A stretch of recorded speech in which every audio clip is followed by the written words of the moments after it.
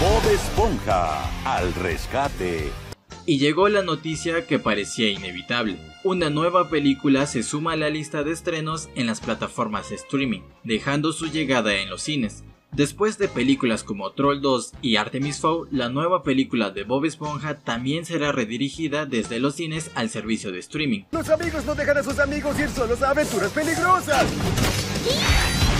Así como lo escuchan, nuestro querido amigo Bob Esponja y sus amigos ya no llegarían a las salas de cine. Paramount está sacando la película de Bob Esponja al rescate fuera del calendario teatral y enviándola directamente a los hogares para su estreno a principios del próximo año o sea, el próximo 2021. Pero a pesar de eso, en este lado del mundo tiene una fecha confirmada en las salas de cine que sería el próximo 24 de septiembre de este año. Entonces funciona muy bien. Yo soy Patricio y mi nombre significa tostadora en céltico. Pero se desconoce si esta fecha sería borrada o seguiría en pie.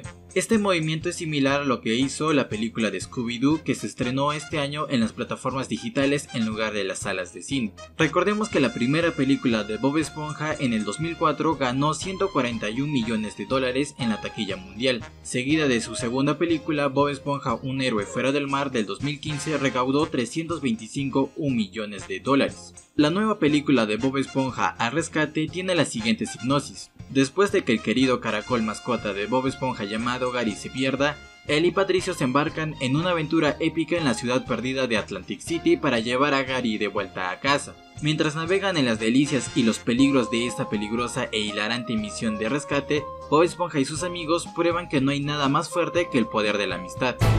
¿Gary? ¿Gary? ¿Dónde está Gary? No. Por el momento no hay mayor información sobre esta película, solo nos queda esperar a que salgan nuevas noticias de Bob Esponja Rescate, posiblemente en algunos países logre estrenarse en las salas de cine. Así que quienes quieran verla en pantalla grande, crucen los dedos que yo ya lo estoy haciendo. Te harían caminar en la plancha por tu ironía. Gracias.